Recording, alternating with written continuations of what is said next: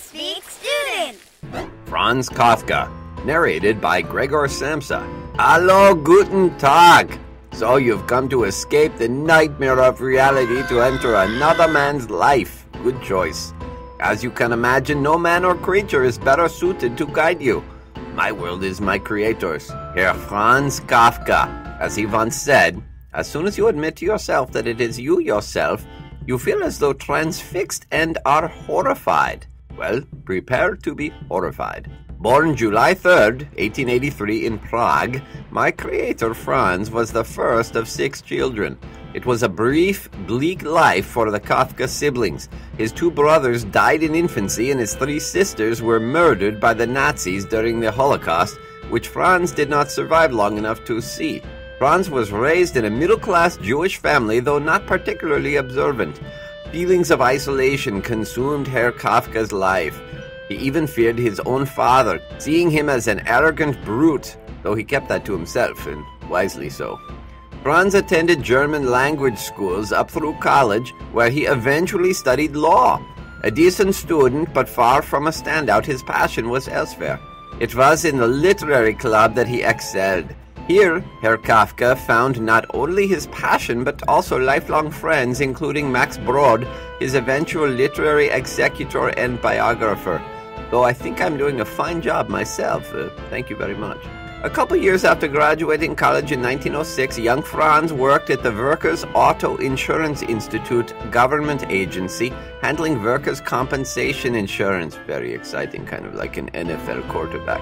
And yes, uh, the work was, in fact, as inspiring as it sounds, as in it was not. It was simply a means to make money.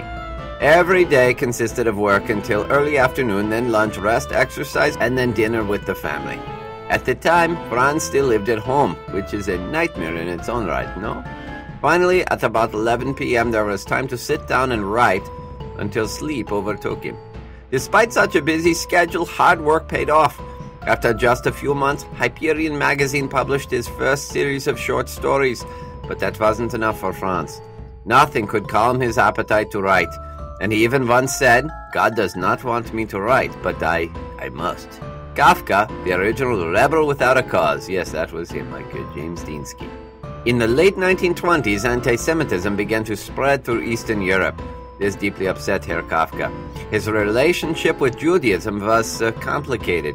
He admired its writing and theater, but was disgusted by how his identity as a Jew alienated him from what was considered the norm. This suffering only worsened his depression and anxiety. Kafka said, What an effort to stay alive. Erecting a monument does not require the expenditures of so much strength. But there was a shining light among the sadness and woe. In 1912, at Max Brod's house, Kafka met and fell in love with Felice Bauer. They exchanged over 500 letters in their five years together. That same year, Herr Kafka's first book, Contemplations, a collection of short stories, was published. In 1914, he published what many consider to be his most Kafkaesque story, The Trial. Kafkaesque, as in happy sunshine and rainbows raining skittles. Just kidding.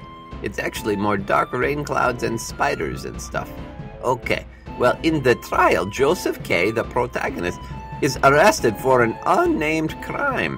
No one will explain what he was arrested for or why. He is then hounded by shadowy authority figures following him everywhere he goes. This dark tale was an eerie foreshadowing of the totalitarian rule that swept Europe years later. That's right, in addition to his writing talents, Kafka was a bit of a fortune teller too. He should have gone into the stock market. That April, Kafka overcame his nerves and proposed to Felice, and then lost that nerve and broke it off three months later. Well, three years later, Kafka realized his mistake and proposed again, then broke it off again five months later.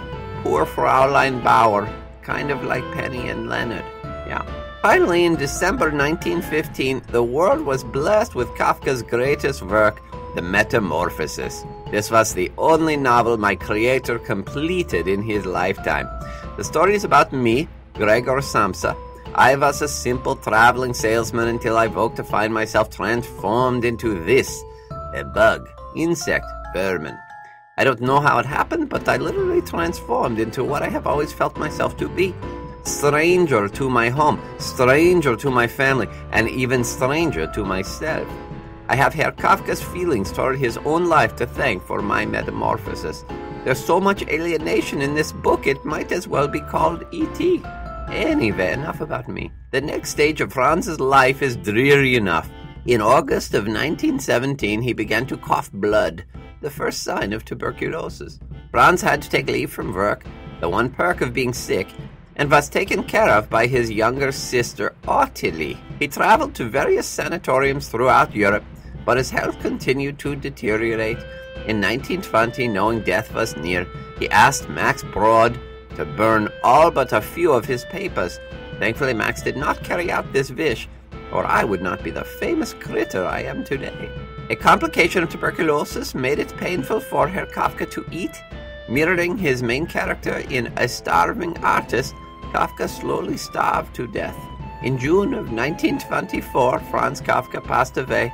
He was only 40 years old. A short, tragic life, much like the bleak short stories he left behind. Alas, he is gone in body, but not in spirit.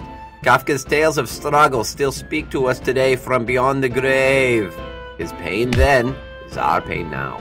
A never ending search for identity, for love, and for meaning in a world that seems to pay no mind to these pains that plague our minds.